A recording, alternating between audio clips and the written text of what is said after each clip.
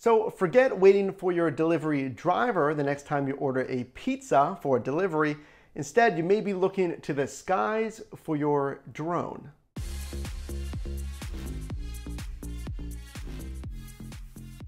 What's up guys, your driver Mike here, back with another video.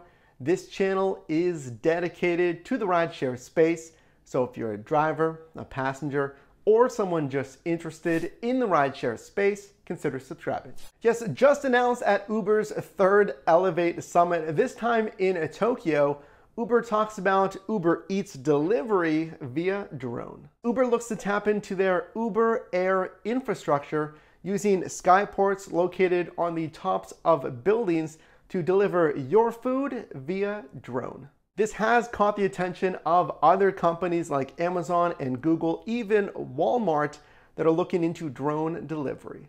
Those skeptical of the regulatory red tape may actually be surprised that the FAA has already given approval for 10 delivery test programs back in May. One of those delivery test programs that got approval was right here in the city of San Diego, California, Interesting to think if next time we'll be looking upwards for our next pizza. So what do you think about Uber Air, Uber Eats via drone delivery?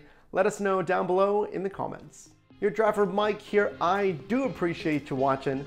Leave a like if you enjoyed the video, subscribe to join your driver team, and I will see you in the next one.